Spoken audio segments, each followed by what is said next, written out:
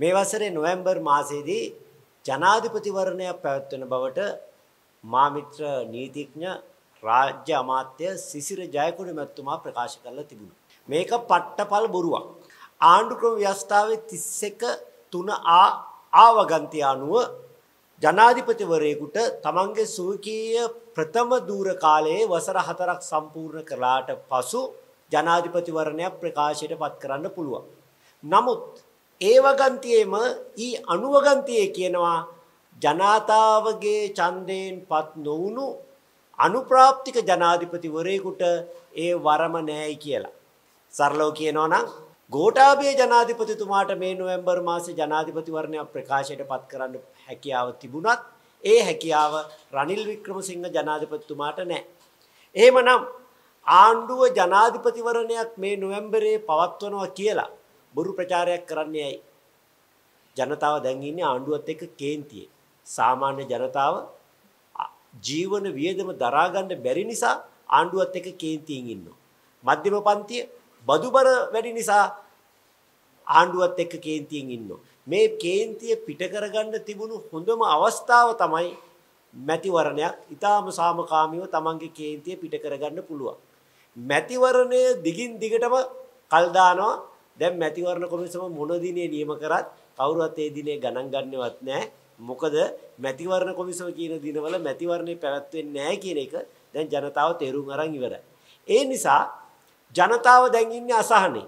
මේ අසහනෙන් ඉන්න ජනතාව සාමකාමී කර ගැනීම සඳහා දෙන ලනුව තමයි ඔය පුංචි පුංචි ඡන්ද නෙවෙයි අපි ලොකුම ඡන්දේ ජනාධිපතිවරණ නොවැම්බරේ තියෙනවා එතකන් ඉවසලා ඉන්න කියන එක.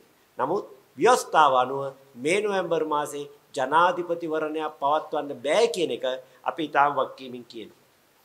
ආණ්ඩුව මැතිවරණයක් පවත්වන්න සල්ලි නෑ කියන විට අපි ආණ්ඩුවට කිව්වා එහෙනම් සල්ලි අච්චු ගහලා හරි මැතිවරණේ පවත්වන්න කියලා. මොකද ආණ්ඩුව කිව්වේ බුදුවම්මෝ ඒක නම් කීයටවත් කරන්න බැරියෝ අපි ජාත්‍යන්තර මුල්ල අරමුදලත් සමග නිලධාරි මට්ටමේ ගිවිසුමක් අත්සන් කරලා තියෙන නිසා තවදුරටත් අපට මුදල් අච්චු ගහන්න බෑයි කියලා.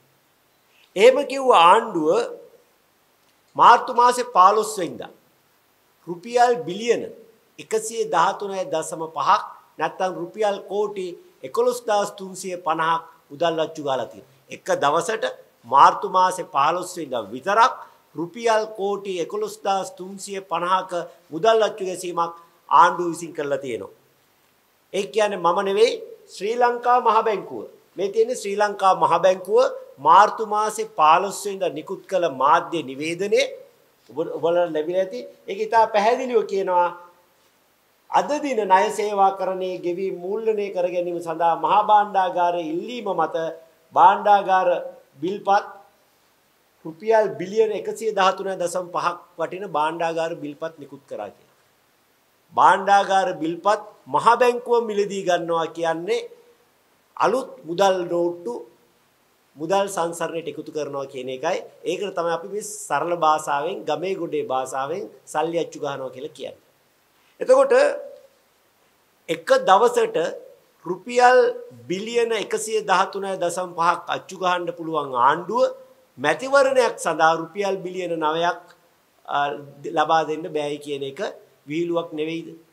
ඒ වගේම ඒ විතරක් නෙවෙයි මේ මාධ්‍ය නිවේදනයේ අනුව මාර්තු මාසේ 15 වෙනිදා වෙන විට රුපියල් බිලියන රුපියල් බිලියන 2640ක් රුපියල් බිලියන 2640ක් වටිනා ආණ්ඩුවේ සොරකුම්පත් මහ බැංකුව මිලදීගෙන තියෙනවා. හැබැයි මහ බැංකුව අධිපති වර්තමාන මහ බැංකුව අධිපතිවරයා තනතුර බාරගත්ත 2022 අප්‍රේල් 7 වෙනිදා වෙන විට මහ බැංකුව සතුව තිබුණු රජයේ සුරුකුම්පත් ප්‍රමාණය වටිනාකම රුපියල් බිලියන 1773යි. ඒ කියන්නේ මහ බැංකුව සතු රජයේ සුරුකුම්පත් පෞගිය දින 342ට වර්තමාන මහ බැංකුව අධිපතිවරයා තනතුර දරන දරපු දින 342ට රජයේ සුරුකුම්පත්වල මහ බැංකුවේ තිබෙන රජයේ සුරුකුම්පත්වල වටිනාකම රුපියල් බිලියන 867කින් ඉහළ ගින් තියෙනවා. ජනතාවට තේරෙන විදිහට කිව්වොත් මේ මහ බැංකුව අධිපතිවරයා යටතේ පමණක් රුපියල් බිලියන 867ක සල්ලි අච්චු ගහලා තියෙනවා. බිලියන 867ක් අච්චු ගන්න අය තමයි ඡන්දේ තියන්න බිලියන 9ක් අච්චු ගන්න බෑයි කියලා කියන්නේ.